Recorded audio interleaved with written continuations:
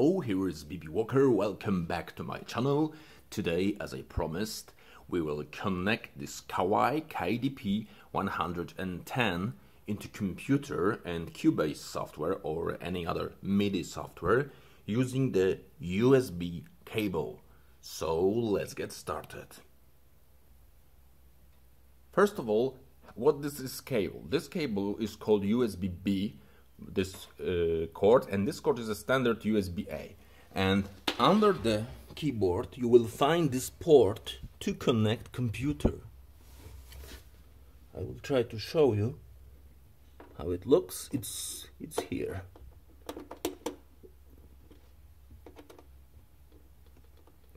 So you install it just here.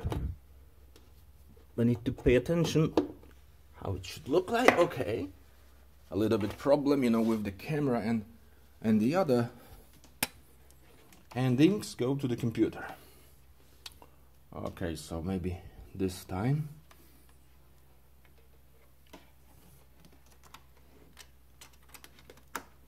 And now we have all things connected. So give me a second and we'll start the computer.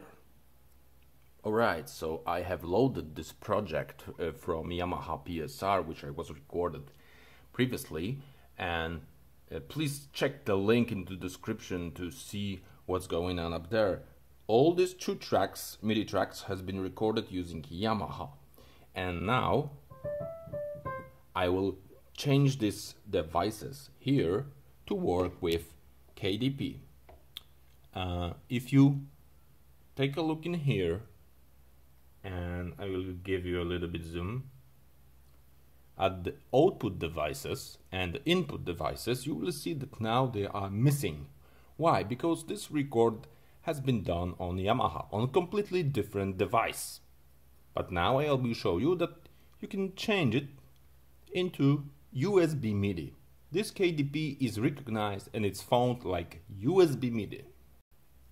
Because this is actually nothing more than USB MIDI keyboard. And as the output you need to also set this new device USB MIDI. And those two things you need to do for each track you have. So again change from not recognized to USB MIDI. Both input and output because I would like to use it as a MIDI keyboard and I would like to you know listen uh, this output. So not from this uh, computer but from this Kawai. So now let's press 1 and listen how it sounds.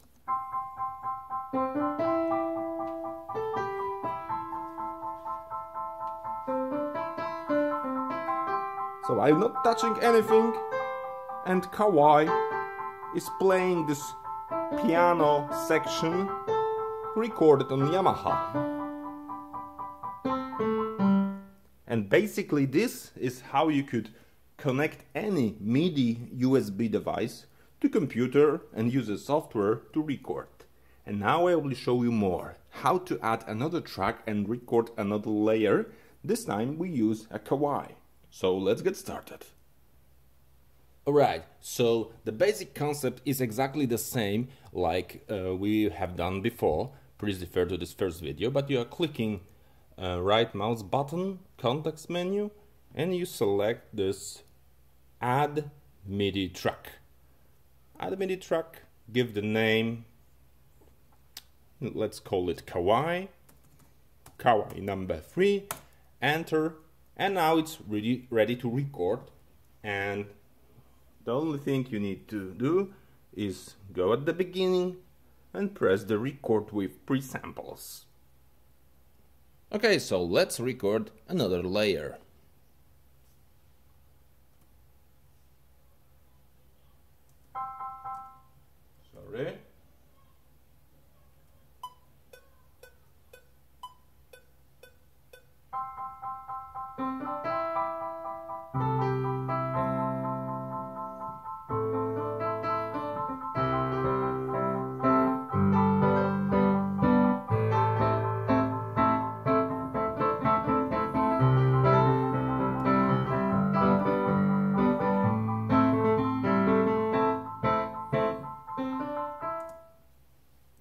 Okay, I think it's enough.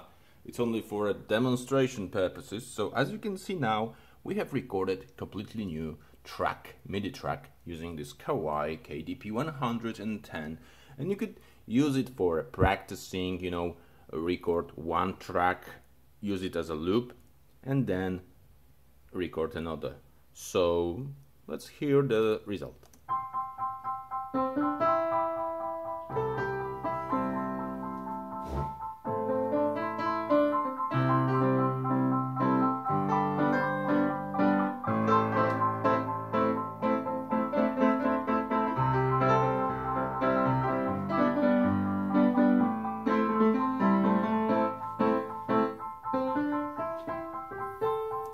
Okay, so there is an almost unlimited. I know however how much tracks you could add, but I think a lot of tracks. Um, of course, you can edit each track. You do, do the quantizing section and so on and so on. I don't want to discuss all the stuff in this video. However, if you have any questions about this Kawai KDP or just MIDI music or just how to use the Cubase, please give me a comment, give me subscribe, and I will be posting more video and more videos you need. So remember, I always answer to your comments, and if your you know problem or issue is worth making video, I promise I will make a direct video for you, dedicated video. So don't hesitate to ask if you have any concern how to connect this or those or whatever. So let's summarize all those stuff. Kawai KDP 110 has a MIDI, Bluetooth and USB. If you use USB, you can connect it to the laptop and use a software like Cubase of FL Studio or Prologic or Anvil Studio, free or commercial, doesn't matter. Most of the uh, MIDI programs uh, gives you the oldest functions and applications that you can do. So you can record the track, maintain the routing channels so it, it, could be used as a MIDI keyboard so the input goes to the computer and then as the output you play it and instead of playing by the computer and pure quality wavetable synthesizers you are playing using this nice sample from the device you have. It could be a Kawai digital piano or it could be a uh, you know, arranger keyboard like my Yamaha PSR 600 which you can also find on this channel. So, if you need to create music uh, in practice, making some jamming with backing tracks, all those things you can do using this simple computer. Of course, the very uh, you know expensive and sophisticated advanced arranger has a lot of things known from this software like MIDI, you know, editing, punching in, punching out, quantizing, and so on. But but digital pianos actually are not arrangers. They are only uh, digital pianos. However, you get only a few samples and only limited to three tracks recording and so on. So to expand the functions of your digital piano, you can simply use a computer or tablet or phone, like is shown in another video. Please check the description. And you know, have some fun because you can record your songs in a MIDI format, which is cool format for you know uh, later development and editing on a computer you, where you have almost unlimited storage, sharing with friends, and so on and so on. So even without the technical, virtual Technician iPad application, without the Android phone, you can even use only the USB computer, which I believe almost everybody have. So this is all for now for my video connecting Kawai digital piano and Yamaha PSRS 670 thanks to the application and computer. If you have any question, just give me a comment and have a nice day. It was BB Walker. See you later.